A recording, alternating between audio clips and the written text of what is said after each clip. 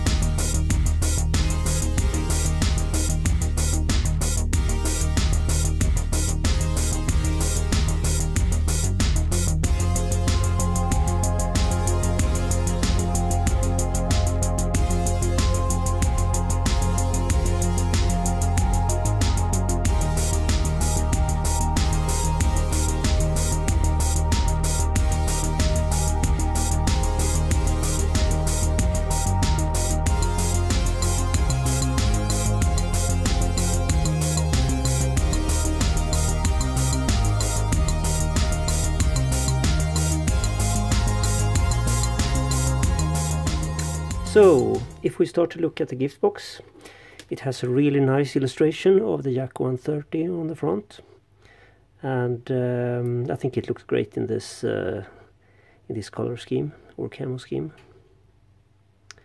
Uh, at the side, we have a paint call out for uh, Zvezda and Humbrol paints, um, an overview of the decal sheet, and we see that the uh, catalog number is uh, 7307. Um, yeah, on the other side we have some other products for uh, from Zvezda and um, on the back side we have a picture of the built model some details. As you can see, there are plenty of, uh, of options for for uh, armament, and uh, we also see that the, it's a 172 scale kit. It has 176 parts, and it's uh, 16 centimeter long when it's built. Okay, the gift box itself is very robust, very uh, stable. Uh, a typical Zvezda uh, gift box, I would say. And uh, and the reason because it's so stable is that it's actually two boxes. So uh, there is one which you have a side opening box just for the artwork, and then we have this sort of cardboard, cheap cardboard box that is uh, doesn't look so sexy, but it's actually very good, and it keeps the parts safe during transportation and uh, also in your stash. Okay, so if we open up the box, we see that it is packed with sprues. Uh, we have an instruction manual. I will go into that more in detail later because I think that needs some explanation. And we also have uh, we have a lot of bags. One, two, three, four, five, six, seven, eight, nine sprues altogether. And we have decal sheet with uh, tons of stencils and uh, not so much uh, markings but of course this is a trainer so um, uh, I believe that there are will probably be uh, aftermarket decal sheets out there anytime soon. And some kind of information in I think this is probably safety information or something like that. So yeah, that's uh, that's the box. The main sprues come uh, packed together in a bag, and um, if we look at the first runner, uh, we have fuselage parts and main wing section Uh, this is a nose. There are some nice details. I think. Uh, the panel lines are a little bit shallow if you want to to add a wash, um, but they are probably quite realistic. Uh, I think. I have no idea what this is.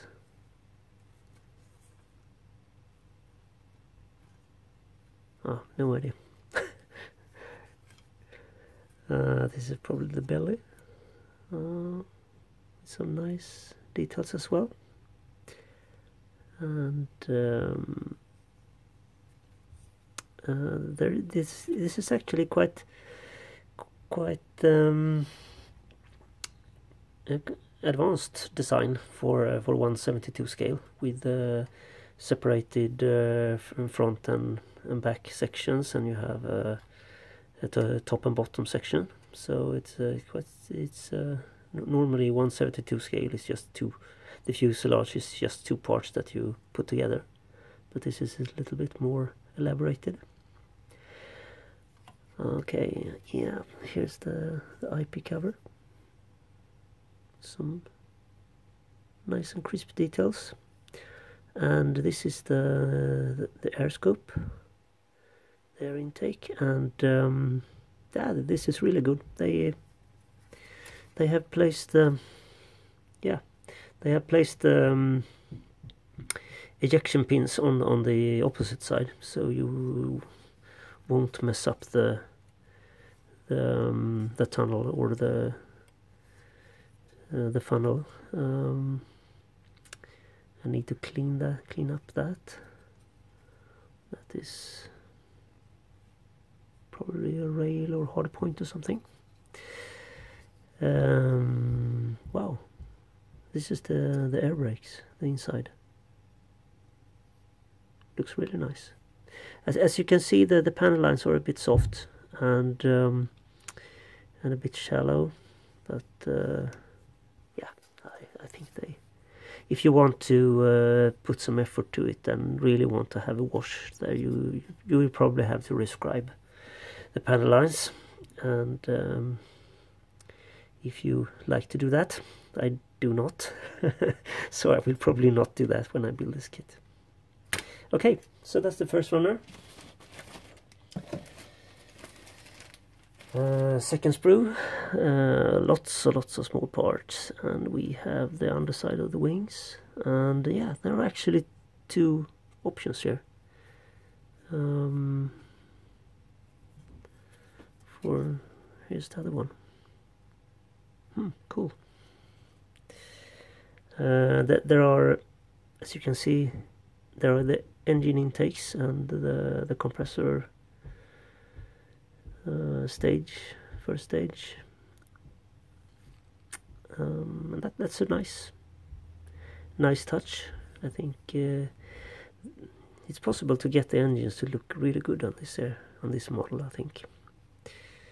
Um, yeah no ejection pin marks like that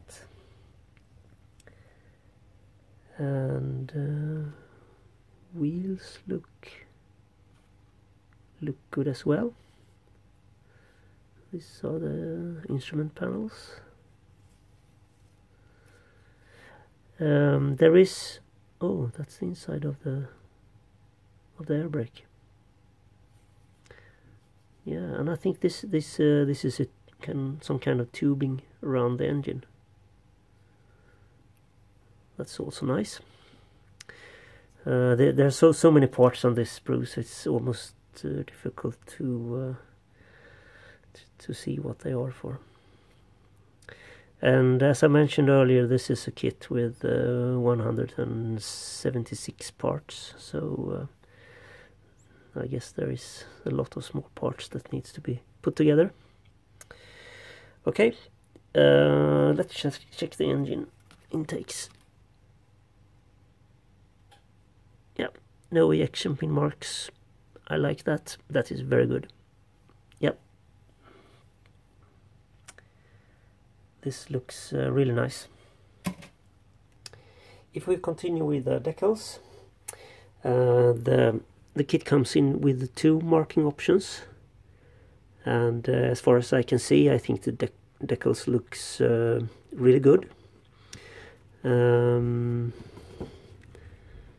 the stars look really crisp, I think. There's no offset or or uh, oversized uh, transfer film or anything like that. It seems uh, that will they will probably look good on the model. Uh, there are lots of stencils and the majority of them will probably go onto the ordnance. Uh, but they, there are some that are on the should be placed on the aircraft as well. Um, the only issue or potential issue I can see is that the, these areas here with the lines they are a solid um, uh, decal and um, that since they go on a curved surface I think they that might be a little bit difficult to to place them and to make them set uh, properly. Um, one approach to fix this would of course be to cut out the, the middle section here. And uh, but then you have to deal with the making the lines straight and stuff like that. So I don't know if it, that is a, is a good idea or not.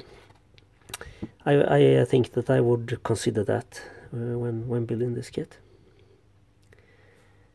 so yeah that's the decals if we look at the clear parts, uh, they come packed uh, individual, individually in a Ziploc bag.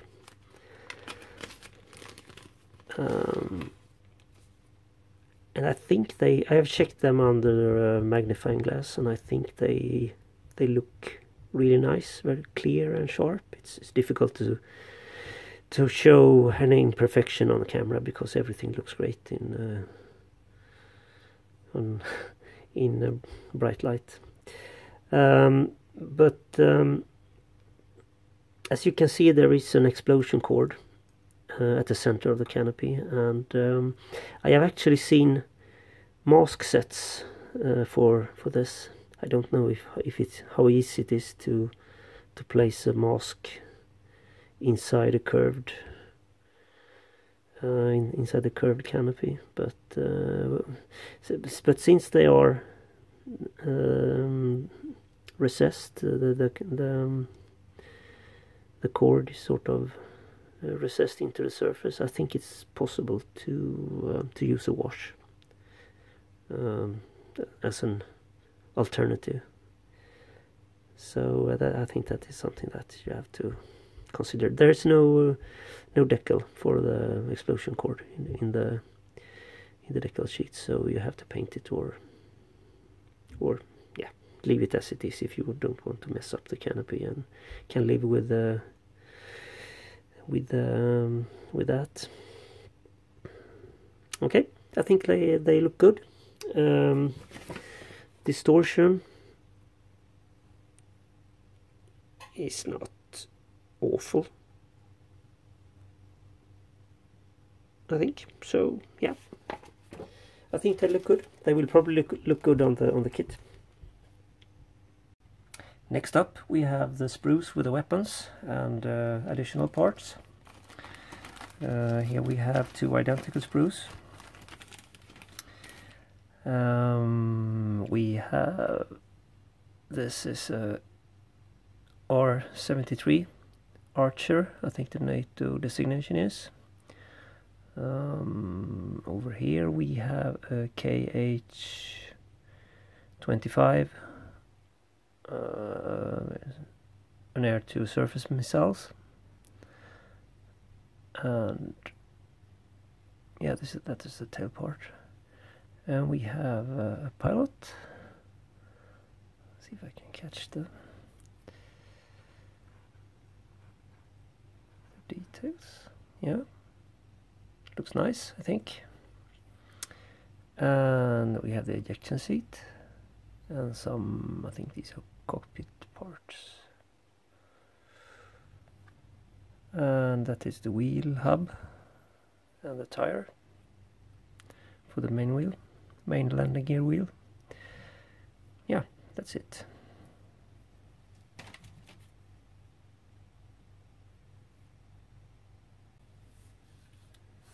And finally we have the last bag of uh, sprues with weapons.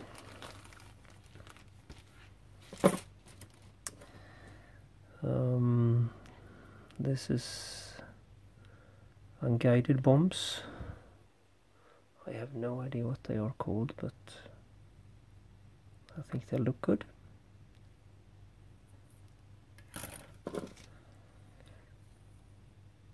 Uh, more unguided bombs.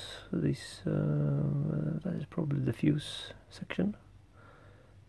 Really nice detail. Yeah. Nice. And we have more unguided bombs or free fall bombs.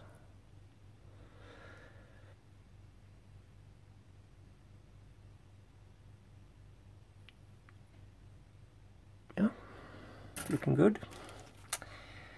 And we have the final sprue with uh, rocket pods.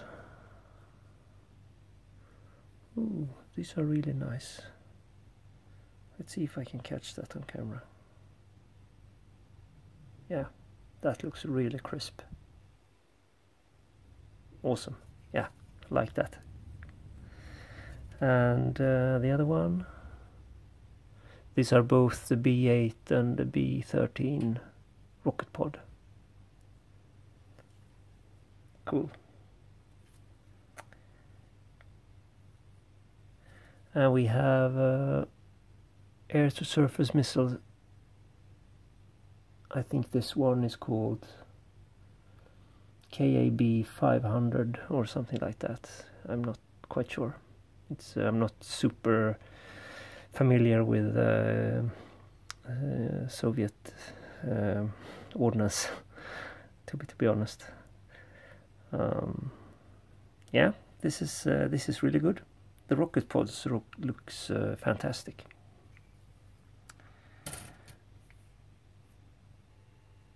Okay, so if we take a closer look at the assembly instructions, we see that on the first page we have some information about the aircraft itself.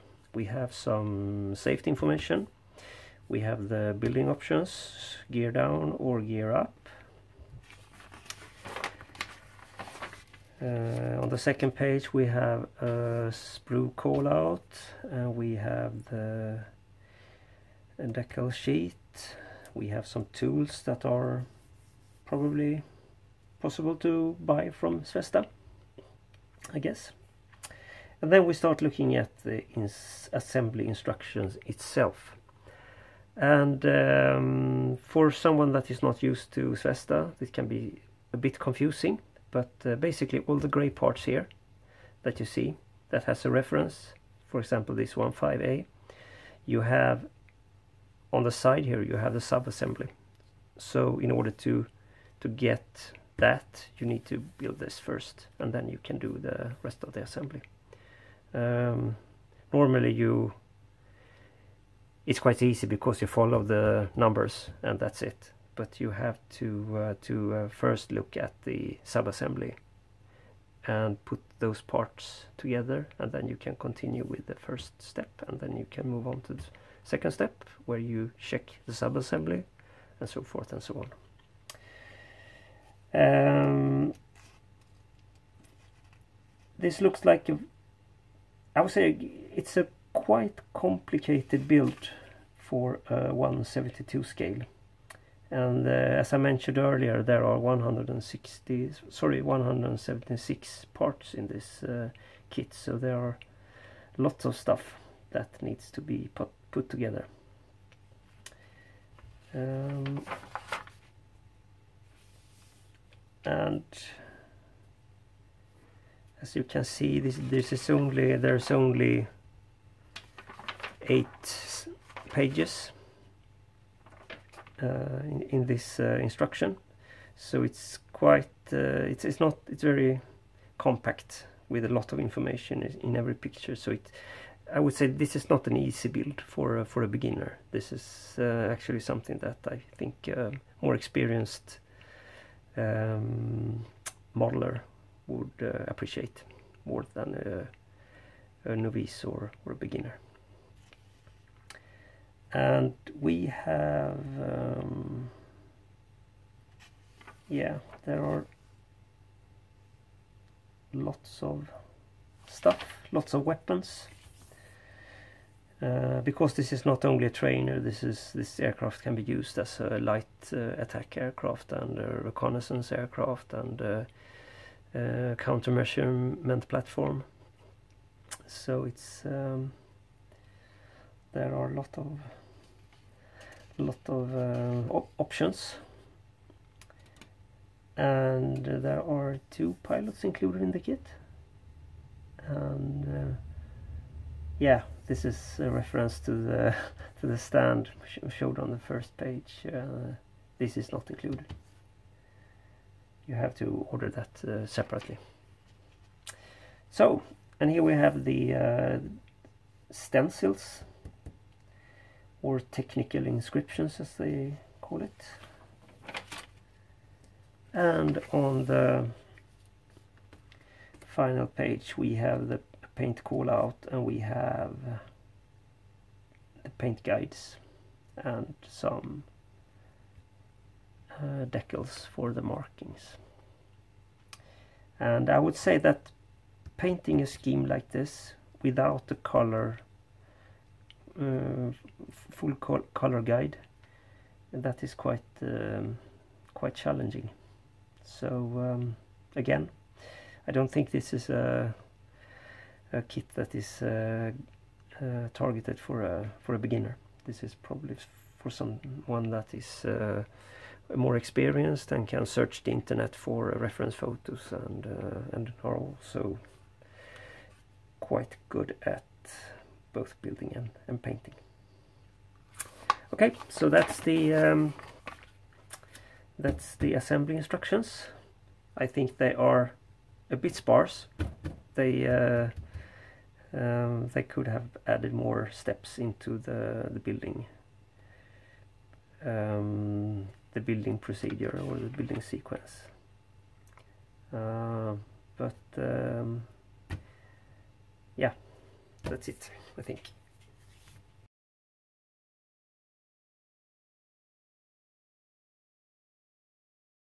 So what is my impression of the kit?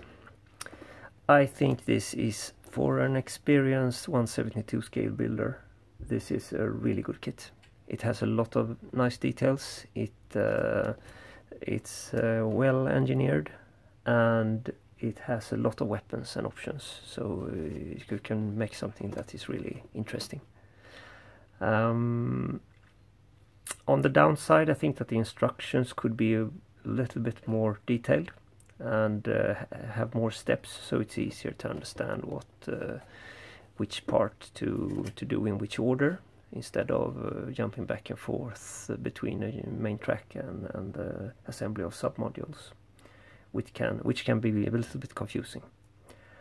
Uh, also, I think that the paint callout should really have references to Vallejo, uh, Tamiya, or Gunze uh, instead of only Humbrol and Zvezda paints, which I think is not available in, in outside Russia or, or, the eastern countries.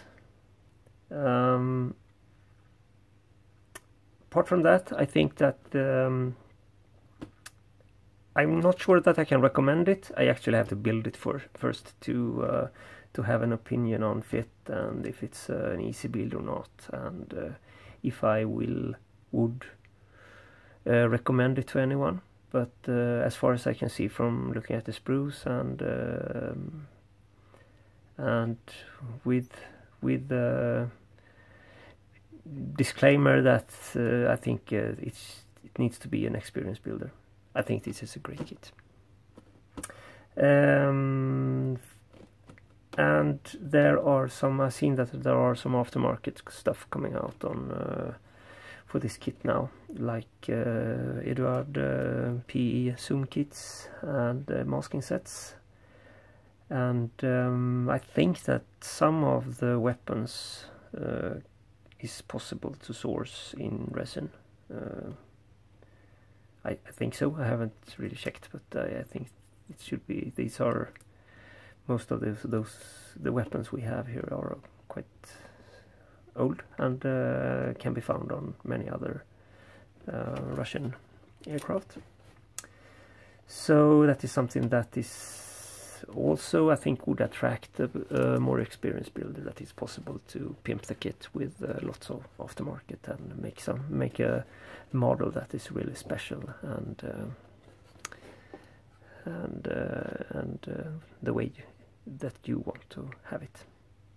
So I will uh, some at some point I will build this and uh, there will be a reveal log for this of course uh, later on. I cannot say when I do this but uh, when when I, I, I will probably when I see that there are aftermarket parts available and I have um, purchased what I think I need then I might uh, put it on my on my um, on my waiting list for for um, for upcoming builds. So okay, that's it. Uh, thank you for watching. Hope you have uh, got something out of my rambling and uh, mumbling and um, in broken English. Uh, hopefully you uh, got some information about this kit and can make up your mind if you think that this is something that you want to build or something that you will will pass on. Anyway, goodbye. See you later.